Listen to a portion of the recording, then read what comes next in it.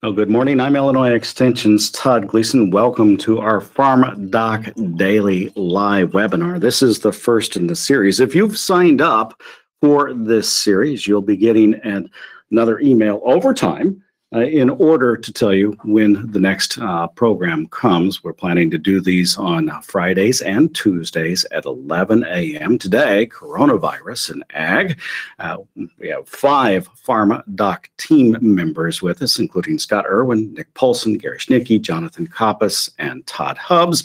They'll make their presentations, and as we go through them, you can ask questions if you would like. There's also a way to uh, download the handout or the slides that you're seeing on the screen. You can get those through the GoToWebinar panel. I'd like to introduce Scott Irwin now. He's an agricultural economist here on the Urbana-Champaign campus of the University of Illinois to give us an overview. Good morning to you, Scott. Thank you uh, for joining us uh, from your remote location today.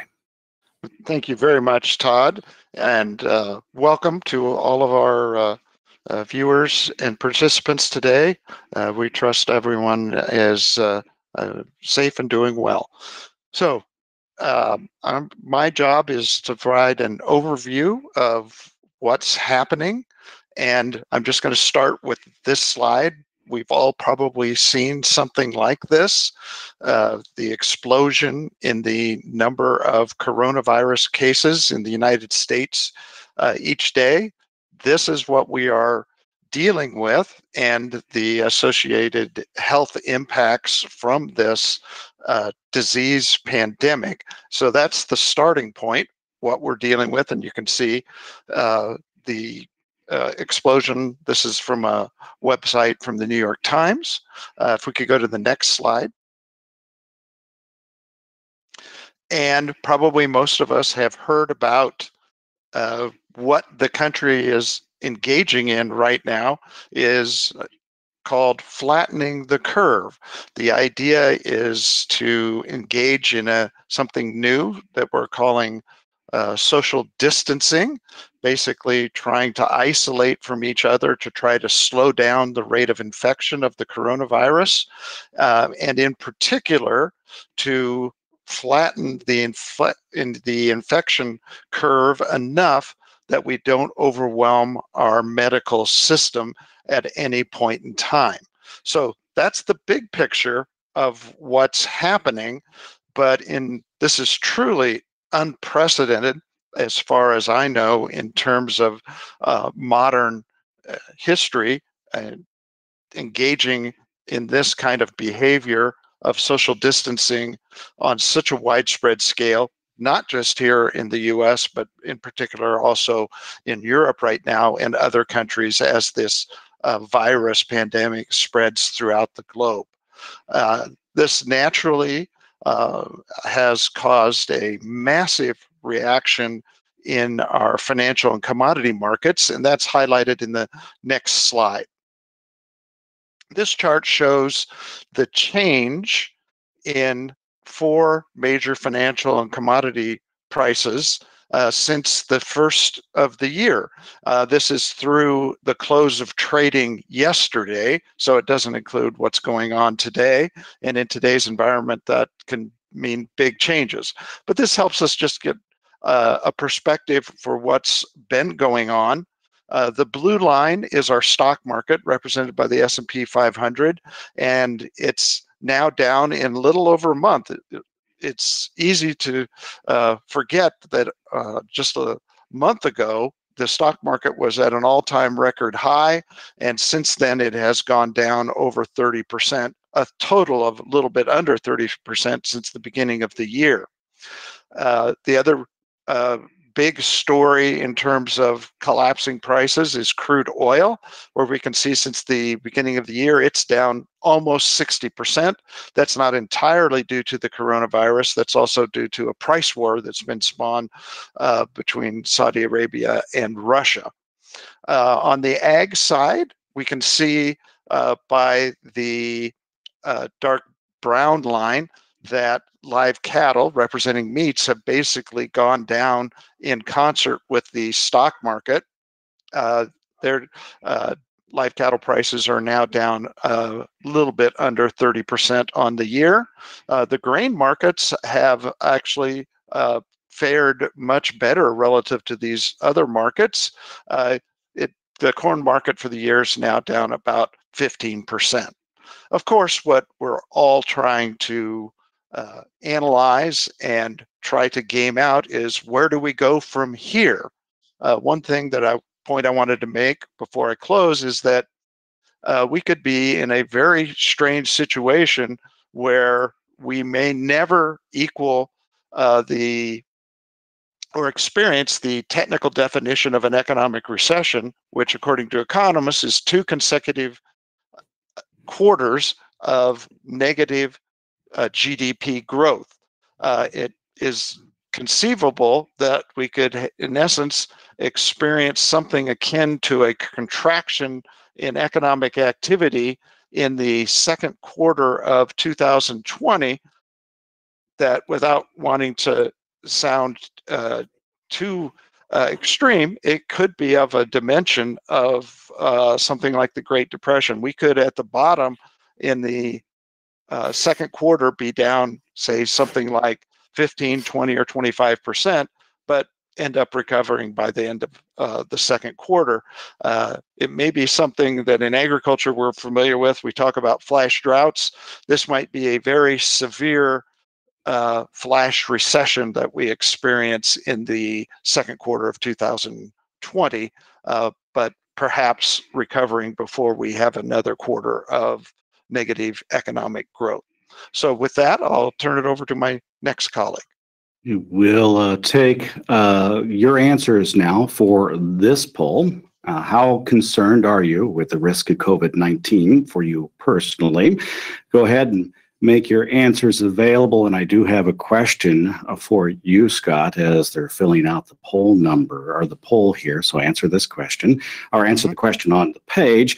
Uh, how how uh, much of a relationship is there between the S&P 500 and cattle prices normally. Uh, you talked about that a little. I assume that really doesn't generally work uh, on a regular basis. No. Uh, generally, uh, there's obviously an, an impact through demand for uh, livestock uh, use.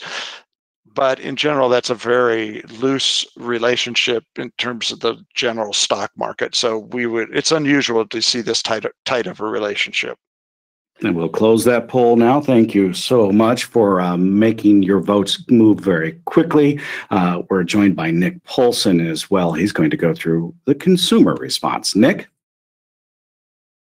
All right, thanks. Thanks, Todd. Um, so as Todd mentioned, I'm going to go through some of the consumer responses that we've seen, some of the some of the highlights, and, and unfortunately some of the uh, some of the lowlights um, that we've seen on the consumer side. So um, Jim, if we could, yeah, advance to that first slide that I have there. There we go. Thank you. Um, so we're obviously in a situation of very rapid, very quick change, um, and that has has definitely uh, uh, applies to the the food delivery system that we have, the consumers across the country. Um, so a lot of the things that we're experiencing on the grocer side, um, people coming in higher volumes in short periods of time, uh, grocers' responses just for safety, um, trying to keep uh, uh, shelves stocked, either having, you know, changing maybe overall total hours that are open to consumers, um, reducing those hours to allow staff um, more time for cleaning, sanitizing, and then restocking those shelves. Um, and then even the, the hours that they are remaining open, if they're reducing, uh, having some of those hours restricted for some of our more uh, at-risk groups to shop. We've seen a lot of that happen here locally and regionally in, in central Illinois. So specific hours for the elderly um, or some of the other um, at-risk populations, so so they can get in and shop without without everyone else in the store at the same time. Um, on the restaurant side of things, you know, definitely in Illinois and, and a number of other states in the U.S., uh, governors have uh, ordered restaurants and, and bars to close, at least to dine-in service. Um, however, um, at least in Illinois, and I think most other places that I've seen across the country that have done this, uh, they are still allowing restaurants to serve food uh, via call in or online orders. and uh, shifting to curbside pickup um, or just expanding some of the uh, existing uh, food delivery models that they that they might have. Uh, next slide. So um, again, got, got some consumer responses here on the negative side, but also some on the positive side that, that we want to highlight as well. So um, again, we had one of the opening polls was talking about uh, asking you all about stocking issues in the grocery stores. Like the vast majority have have um, experienced that at least to some extent. There's plenty of um, evidence across the country of, of hoarding behavior um, and at least temporary, if not slightly longer than temporary stocking issues, uh, especially for, for specific types of products. Um, again, I think the experience with this is, has varied quite a bit. Um, in more densely populated urban areas, I think there's, there's probably bigger problems than um, in smaller urban areas and rural areas. Uh, but it but it has been an issue affecting everybody. I think it's you know it's in, in, in everyone's interest to continue to remind everyone that that type of hoarding and, and herd buying behavior is is kind of a self-fulfilling problem. Um, so do your best to, to try to resist being part of that problem. Um, and then on the positive side of things, um, you know, a lot of kind of uh, good things that I've seen come out of this, positive uses of social media um, if you can believe it, are a, a lot of community information efforts. Um, so just in our local area, just just as specific examples, people posting kind of centralized information about what restaurants are uh, moving to curbside or delivery service, uh, information about those hours changes or restricted hours for those at-risk groups at grocery stores. We've got a number of restaurants, both locally and across the country. We see news about restaurants opening up to offer uh, lunches to, to school kids, given all the school cancellations that we're seeing across the country. Um, and then even shifts in, in, in the products that, that, that firms are producing to help pitch into this effort. And, probably one of the, the, more notable ones that, you know, has at least a, a pretty close tie to agriculture is we're seeing a lot of distilleries uh, shifting into making hand sanitizer products for, for medical professionals. All right, next slide. All right, so just kind of finally to sum up here with some some recommendations. First of all, the the system, at least for now, is continuing to work. Um, so again, you know, panic kind of can create more panic. So recommendations. Hopefully, everybody has heard this multiple times, but we need to continue to get the word out about social distancing and quarantining to flatten the curve. Um, good hygiene practices, washing your hands and cleaning uh, surfaces that you're using regularly. Again, really try to go against maybe your your inclination to, to go out and stock up on on food and household items. Uh, again, there's really no need for more than a few weeks worth of groceries. Don't change your buying patterns, you know, considerably from what you were doing before. You know, that's that's what creates problems in the system. Um, check on your family, friends, and neighbors. We have lots of uh, technology options nowadays to be able to do that. Uh, and I would highly encourage everyone to support those, those businesses that are being directly impacted very quickly as you are able. Uh, we want those to those uh, businesses to be able to survive this. Um, we don't know the, the length of time we'll be dealing with yet. Um, maybe my last recommendation there is just in general, you know, be be good humans. Um, and with that, turn it back over to Todd to uh, transition over to Gary. Hey, thank you so much, Nick. Uh, just um, to go back to the poll question very quickly, 91% of you say that you're concerned or very concerned about COVID 19. Uh, that uh, brings me kind of Gary Schnitkey to you. I suspect they're concerned in two ways one for their per- personal health. However, the supply chain uh, and what might be happening in agriculture, I'm sure, is a big concern as well. Yeah, so we're going to talk a little bit about the supply chain here as far as agriculture, and obviously, as we're looking at the COVID nineteen measures, uh, this would is not at the very least optimal for what's going on in in, in agriculture. You don't tr- make these big changes in the way food is delivered and expect things to go well or smoothly. Um, most, as, as we've seen, there's been some um, some shortages. Uh, most of those shortages likely are because of consumer behavior.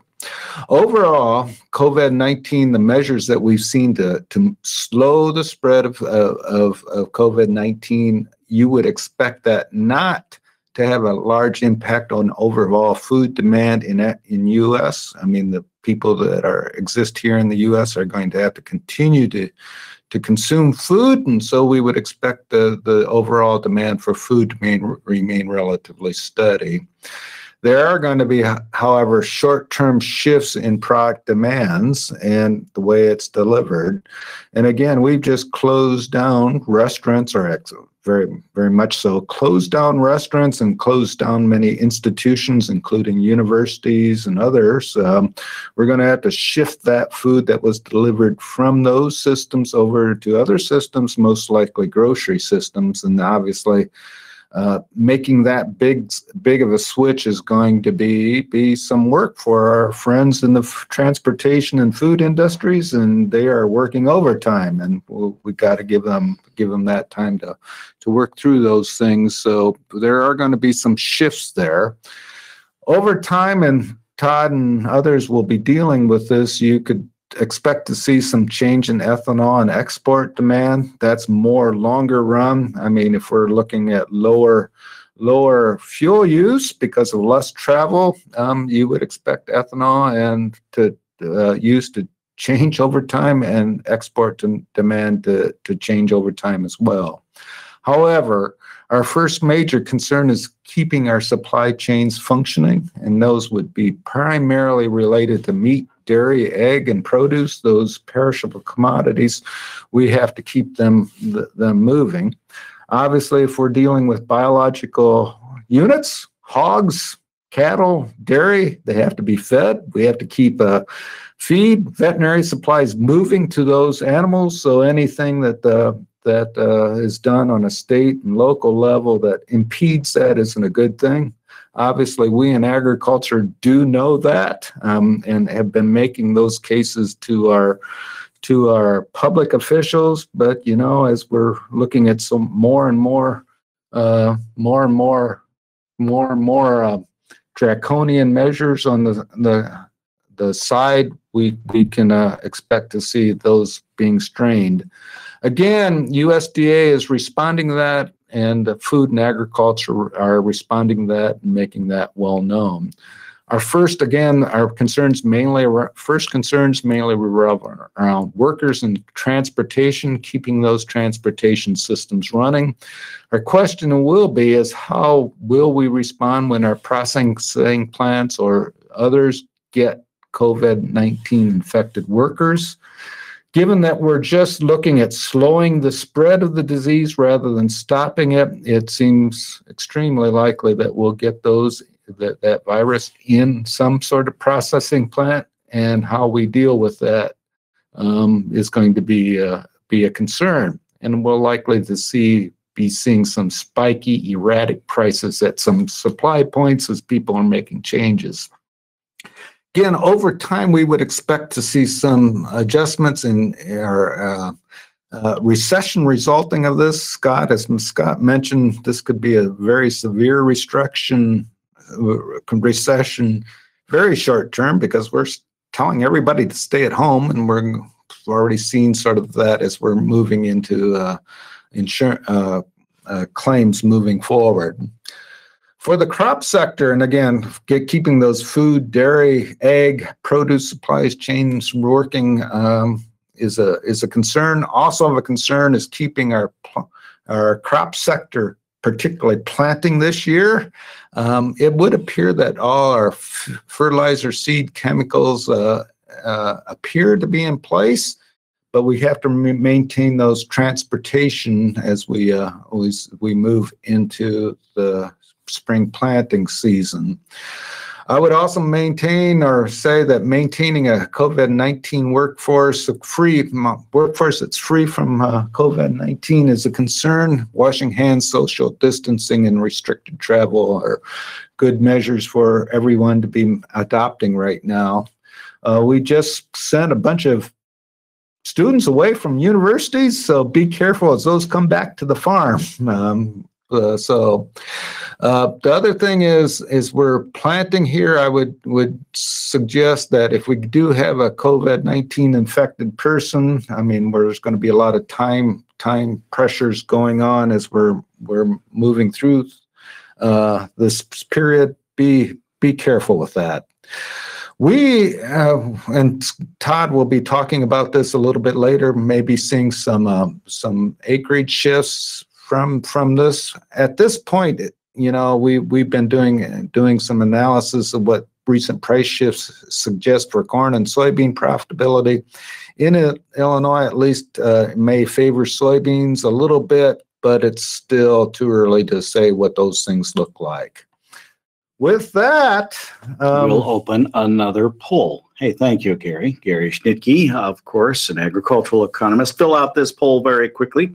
If you can, should the federal government initiate another round of MFP like payments or low interest loans to farmers? Uh, just one note, and we'll hear more from Jonathan Coppess on the response uh, from the federal government. The one pager that has come out of the White House to this point uh, does allow for the movement broadly of the pharmaceutical industry, healthcare workers, and it says simply those who are in the food supply. I suspect Jonathan will have more to say about that. Uh, and here are some of the results. Yeah, we're we're closing the results. We're hopefully you're seeing those now, but uh, right now, 40% of you have no opinion yet. 24% of you think we should do something, 18% strongly. So 24 and 18 are where we're at. Jonathan Coppess is now here. He's the policy specialist uh, in the farmdoc team. And Jonathan, uh, thank you so much for taking the time for being with us. Uh, you're following uh, something that's changing sometimes by the hour and a minute. What do you see? Yeah, uh, thanks, Todd. And you can go ahead and, and advance into the uh, slide here, um, Jim whoever's controlling it. So what we know right now is, as you said, got quite a bit of un, unknown or uncertainty. Congress is in the process of trying to put together a stimulus package um, to help the economy and help kind of offset uh, some of what's going on. Right now, we're talking somewhere around a trillion dollars. Uh, Majority Leader Mitch McConnell released the Republican Senate version of this last night, but by all accounts, uh, it has not been well received. So I think we are in, in for a round or two of negotiations, both in the Senate and then probably between the House and Senate uh, before anything moves.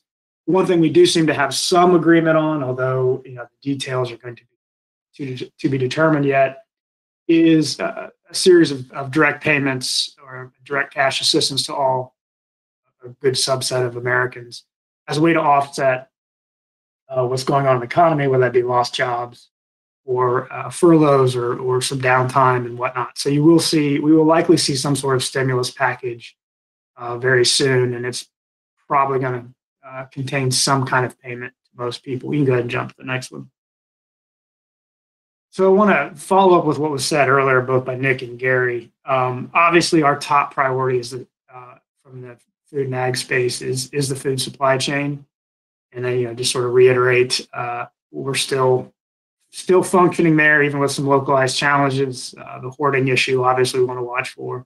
One thing I wanted to highlight is under the Defense Product Defense Production Act. This was put into place after, during the Korean War back in the 50s it's long running authority. And in that, USDA uh, has a coordination and a lead role in food resource priorities and allocations. And in fact, the, the Farm Service Agency, which is, you know, not only does it make the payments that most farmers used to, it's also a logistics and purchasing purchasing arm for USDA. And so one of the things we uh, will be watching, and we hope USDA is is working through, and presume they're working through very closely, uh, is how to use that authority uh, make sure priorities and allocations are, are underway if there are localized food shortages or supply chain challenges. Um, we do know that, that FSA can purchase and can deliver or prioritize uh, supplies to certain regions.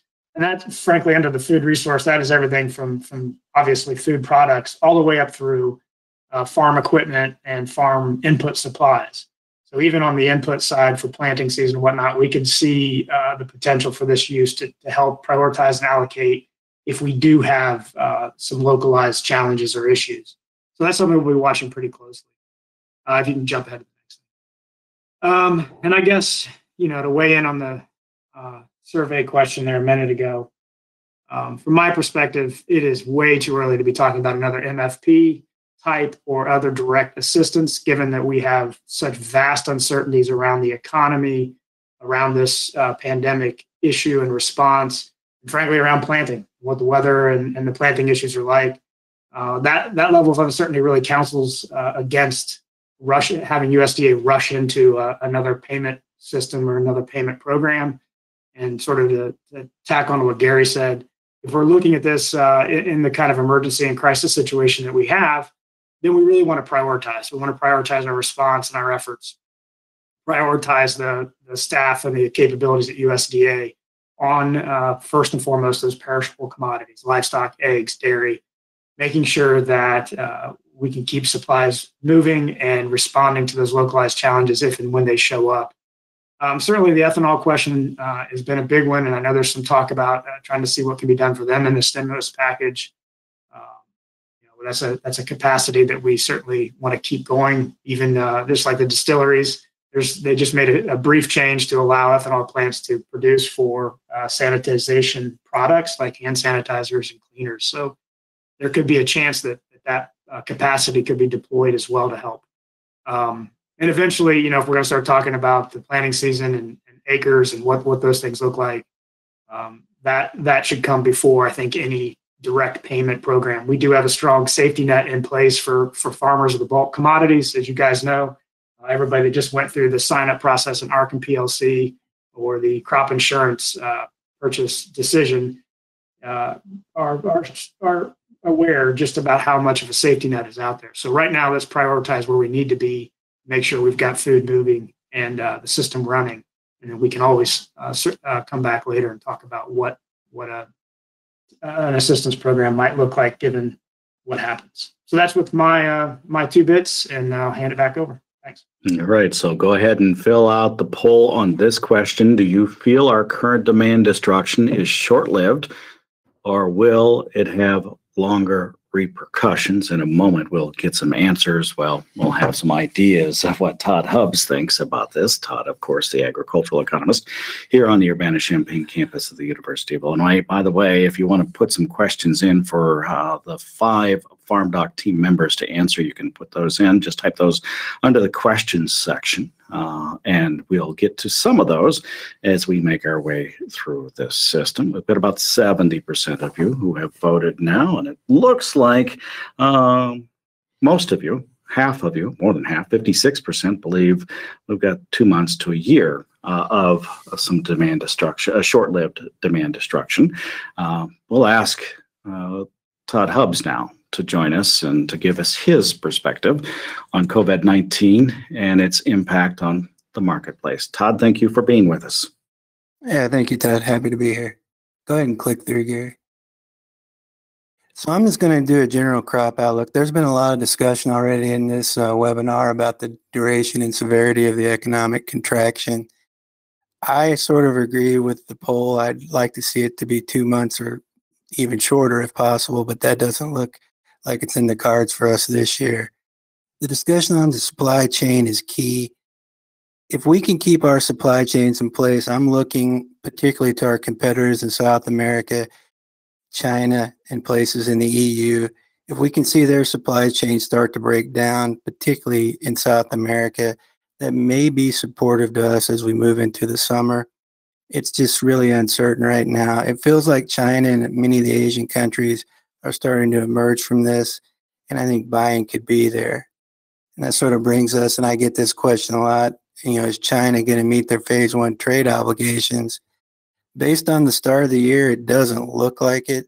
Um, they've got off to a slow start because of their the repercussions around COVID nineteen in their country. They're well behind what they said they were going to buy in 2020. I do st- still think they'll try to buy a significant amount of agricultural products in the United States as we move through the rest of 2020. And if there are issues in South America and other places, that will benefit us if we can keep our supply chains in place. So as we're moving into 2020, the idea around acreage, I think a lot of people are talking about right now.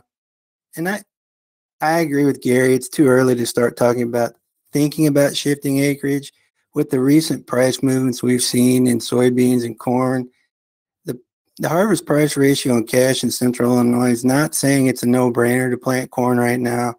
And we'll have to see how it moves through time. Um, but it's a little bit early. Let's see how this thing moves over the next few weeks. We may get back to business as usual or not as usual, but back to some sort of business a little bit quicker than many of the commentators are now speculating. That would be my preference, and hopefully that's the case. When we talk about corn in particular, particularly marketing old crop corn, I know a lot of farmers out there probably on basis contracts that you've rolled forward. That may turn out to be a good thing for you. We've seen basis in corn weaken dramatically since this took off, and a lot of that's due to ethanol plants. We've heard of ethanol plants idling.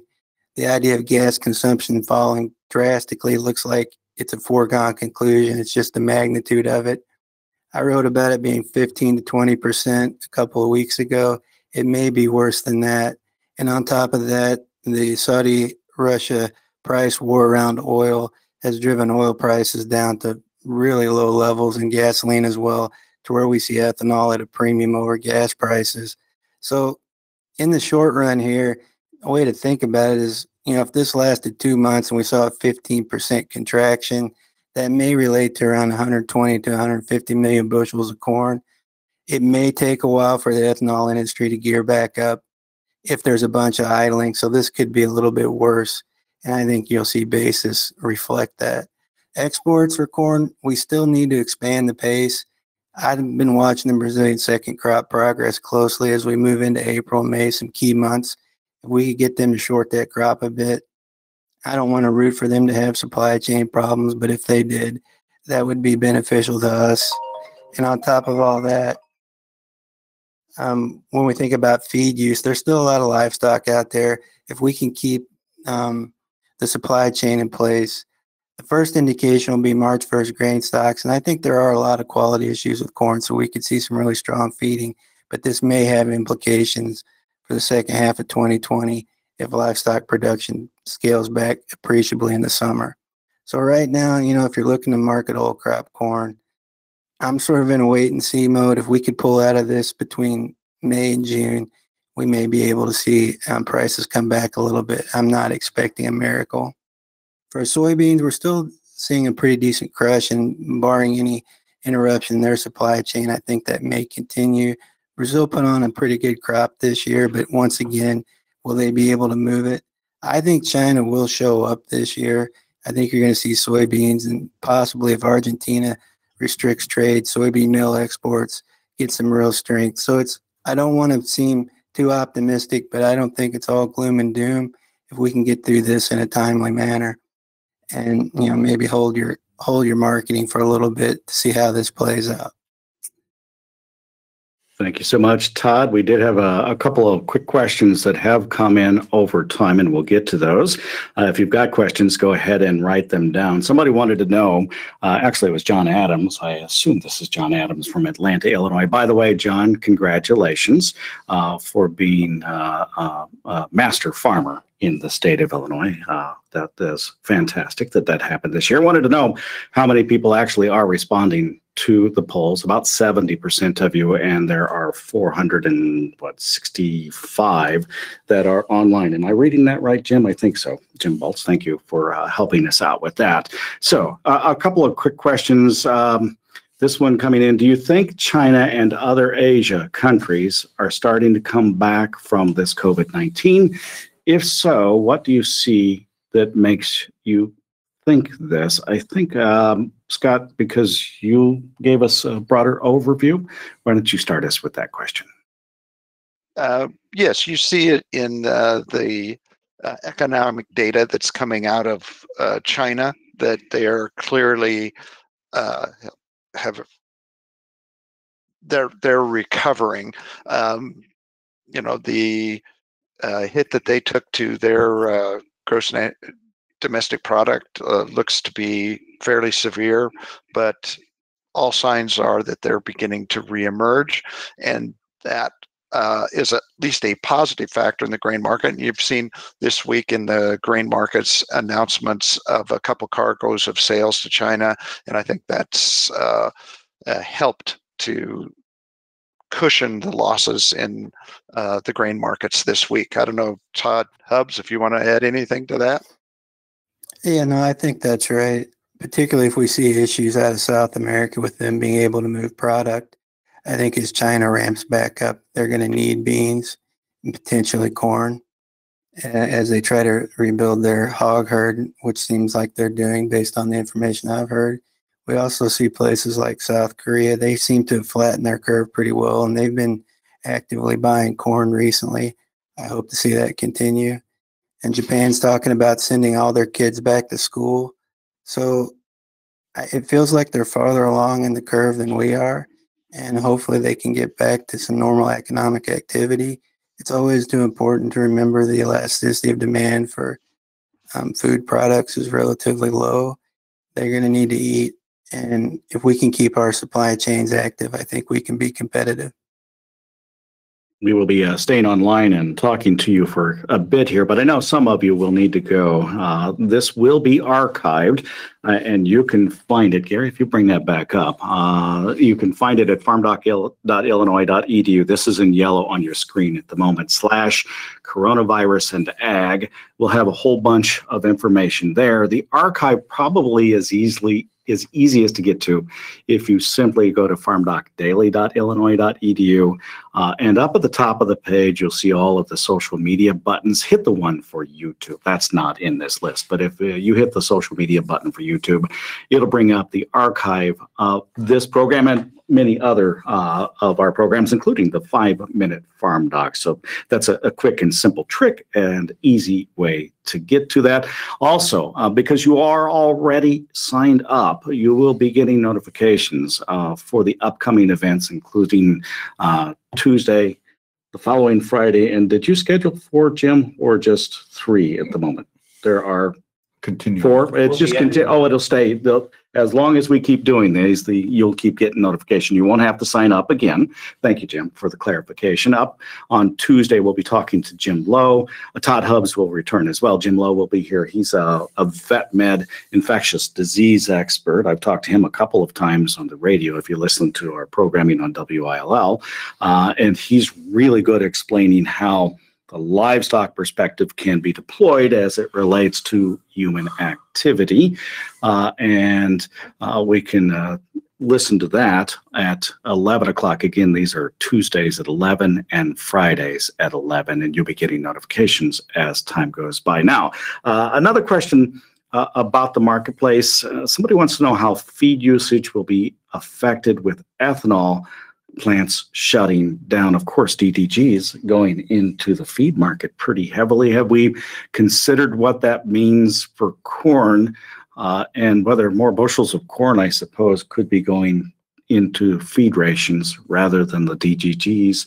And uh, if that makes much of a difference, uh, I suppose, Todd Hubbs, that's probably a question for you. Yeah, and I, and I, sort of briefly hit that in my short time. I think the second quarter may not be as bad for feed usage if we can keep the meat supply chain moving.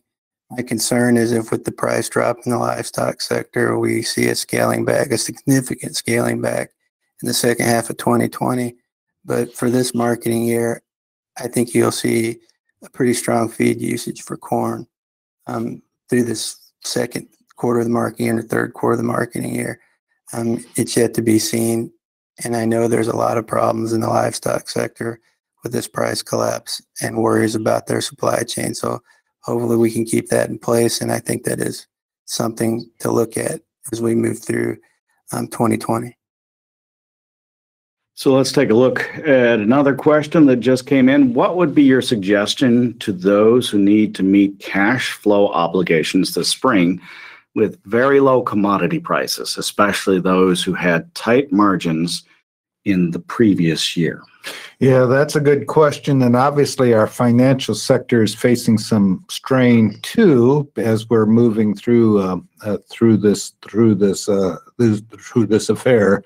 One important to note is that our financial institutions that are servicing farmers are up and running. They're making some uh, some adjustments. Um, most of those institutions are closing their doors to in-face meetings, but are will are are are uh, moving forward with uh, with business. They have funds and can make make loans, and we'll be doing those through the uh, through the normal normal or not normal, but through through non face to face meetings in in many cases, and we've seen a lot of lenders um, close their lobbies and close their doors uh, again. But um, uh, the the money for existing loans is there. I guess if you're looking at a bright side, their interest rates are very low right now and will likely continue to be very low moving moving into the future. Um, hopefully, most of our crop farms have made have gotten their loans renewed by this this point in time, so that those those funds still exist and everything is is going to to move through those fine. Um, livestock and dairy producers may want to begin talking to their lenders and others about the financial needs that may be resulting from this. And I guess talking to lenders sooner rather than later will begin begin begin that process. One other note on the financial institution side is that a number of individuals are recommending that uh, people maintain a cash balance and, and, and withdrawing cash in this case that's all well and good measure until you figure out that uh, there's a limited supply of cash that exists out there. And if everybody goes out and tries to get cash at the same point in time, it's not, it, it'd be a run on paper money. Uh, our financial system will be just fine if we don't, uh, if we, and so we're not expecting anything bad to happen to our financial system, but uh, um, just just just sit back and talk to your lender if you're a livestock and dairy farmer, and if you're a crop farmer, um, your loans are there. A poli- policy question for you, Jonathan. Um, they want to know under the Federal Motor Carrier uh, Act, and I don't know whether that's actually the right uh, term. If uh, movement is restricted, uh, how movement off the farm into the system will take place or if it can take place? Yeah, I mean that's a that's a good question, and that uh, I don't have the specifics or the detail on that. I do know from some of the information I've gotten around uh, different areas, like for example California, that's trying to get all non-essential uh, businesses closed down and, and traffic stopped. That food and food production issues will be most will have to be considered essential and whether they use some sort of process for uh, exempting any anybody going to and from uh, work in an essential industry like food production. So my guess is that as they work through this, um, they're going to be permitting uh, traffic in that area as much as possible. But again, I don't have the specifics on on that, and I can see if there's any any easy information that I can find on it. Not not overly familiar with motor vehicle carrier.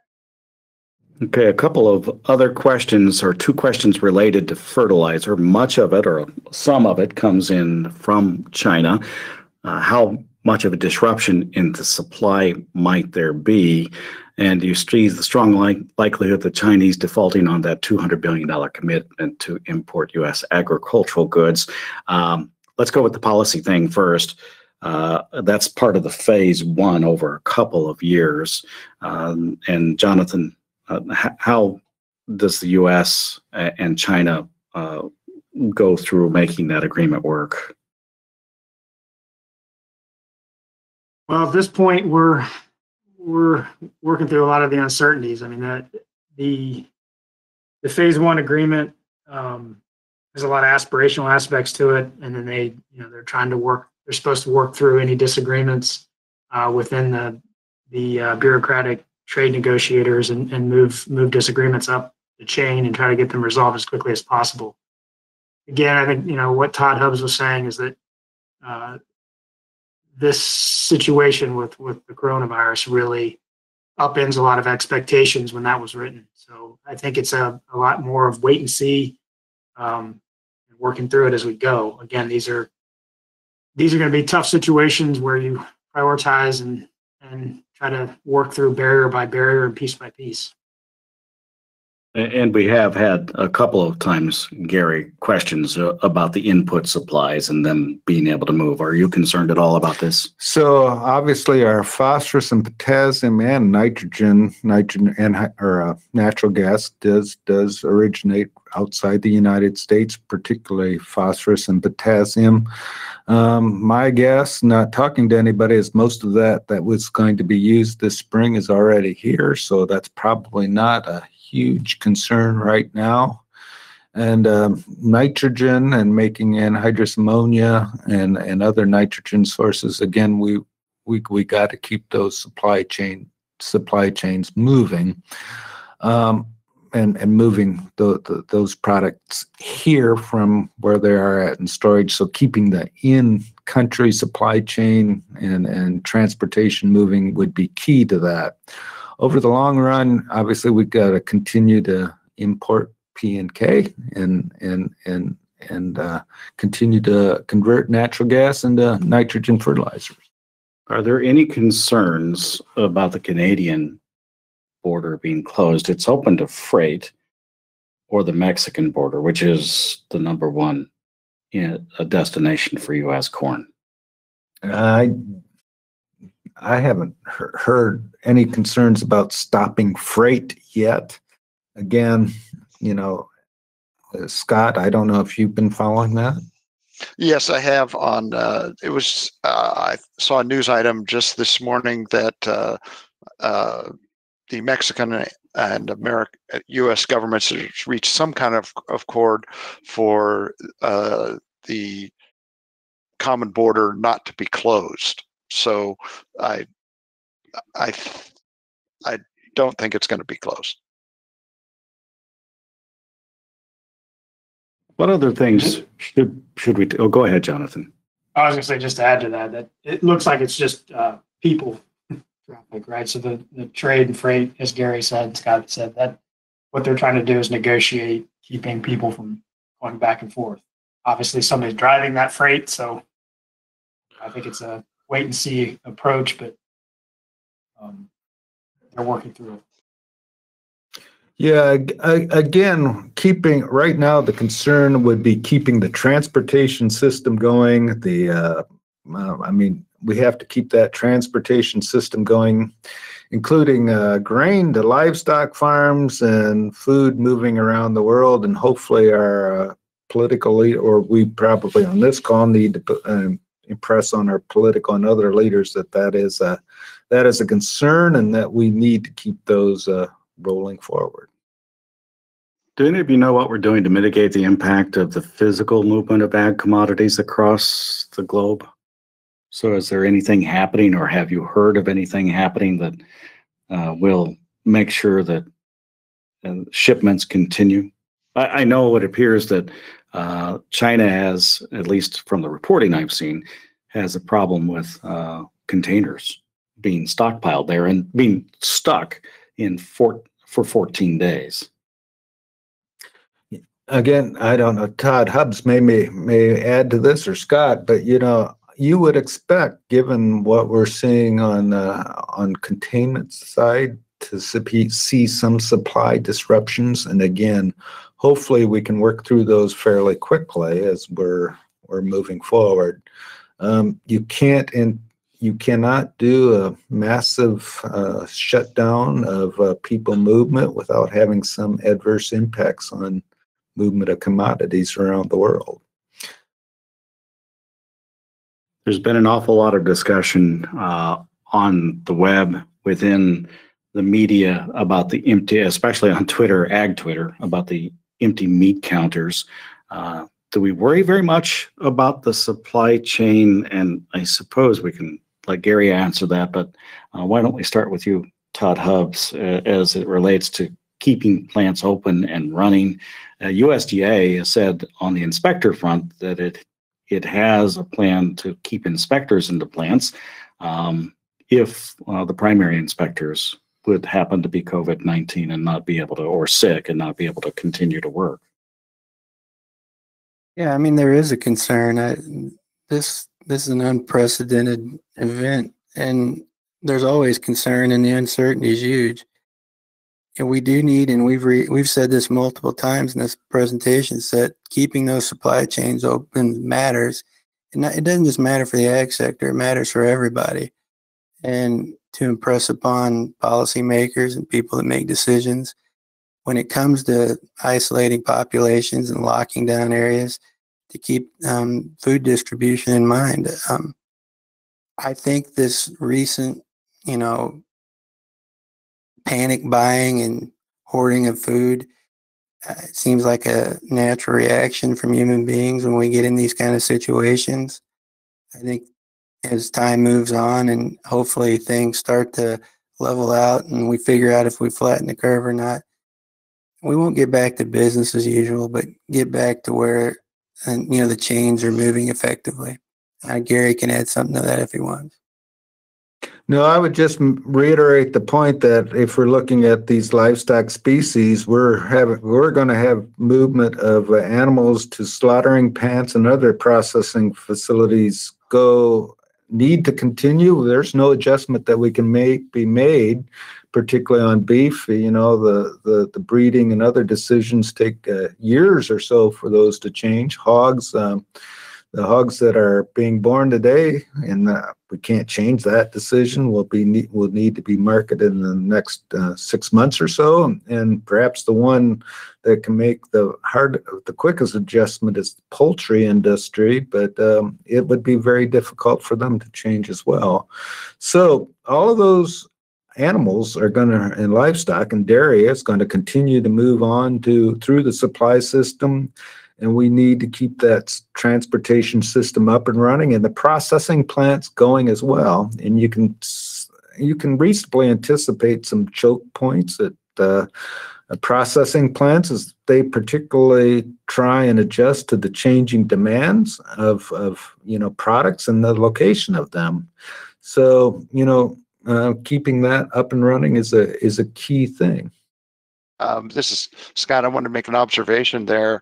Uh, we'll have some relevant data to look at from the shelter at home orders that have been instituted for California and Governor Cuomo just instituted one for New York and how those are managed uh, will be probably an important uh, data point in identifying problem spots in terms of the food supply chain.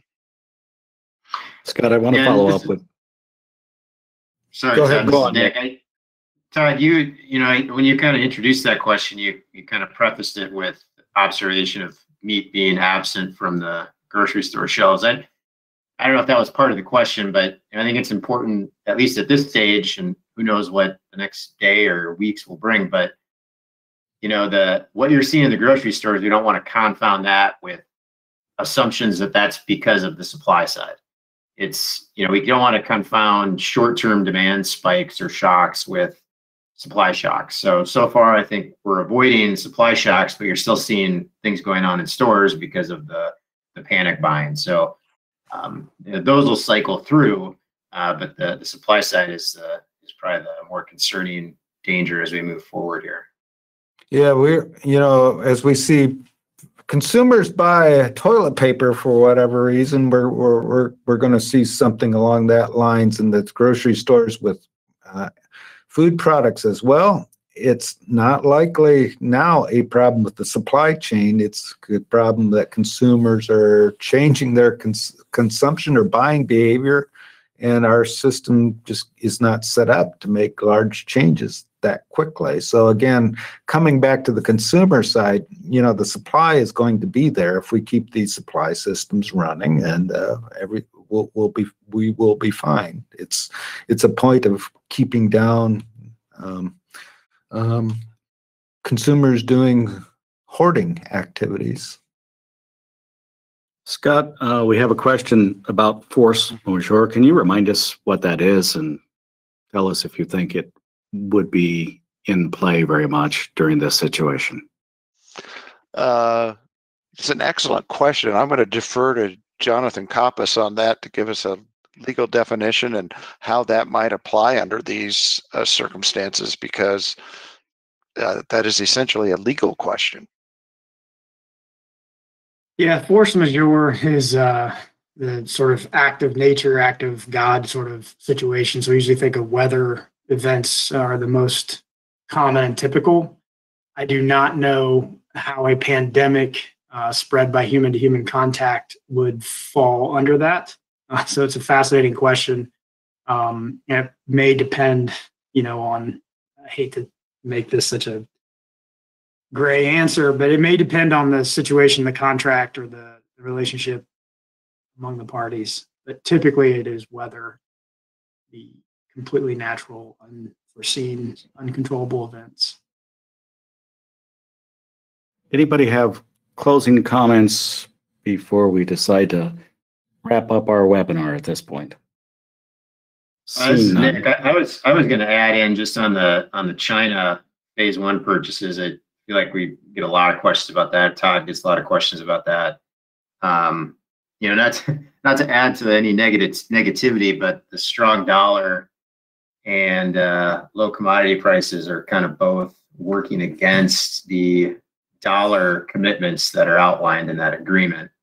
Um, I, I don't know if, if Todd or Scott wants to follow up on that, but just a another thing to remind people of that you know China may make every effort they can to make those commitments, but they've got a number of things working against them this year. No, I, this is Scott. I just wanted to make one additional comment that uh, we realized that uh, there were a lot of questions that were submitted. We just don't have time to uh, address each one of them. Uh, and we do have a new coronavirus and ag uh, page at our farmdoc website, and we have a place there where you can also submit questions. Again, we are not going to guarantee that uh, uh, we will respond to those individually, but is is a way to help us understand what is on your mind, what kind of the key themes are in terms of questions that are being asked. So, just wanted to point that out. Thank you to everybody for joining us here for our first in this farmdoc Daily Live webinar series. We'll be back again on Tuesday at 11 o'clock. We'll talk with Jim Lowe at that point, who is an infectious disease specialist at VetMed here on campus, and discuss the perspective of livestock and infectious disease and how that can be deployed, uh, and explain some of the things that are happening with COVID-19. Todd Hubbs will join us at that point as well. Our thanks to all the panelists who have joined us today, Gary Schnitkey and Todd Hubbs, Scott Irwin, uh, along with Nick Paulson. We appreciate you taking the time and we do appreciate everybody else who's been online with us. Uh, when you go to the farmdoc Daily website, you can find the archive of this program as soon as uh, our own Jim Bolts has the opportunity to get it archived. It won't take him particularly long, but give him some time. Uh, simply uh, might be best just hit the YouTube link there, the little social media link, and it will take you right uh, to the YouTube channel that belongs to Farm Doc and farmdoc Daily. Uh, for the farmdoc team, I'm Illinois Extension's Todd Gleason. Thank you for joining us.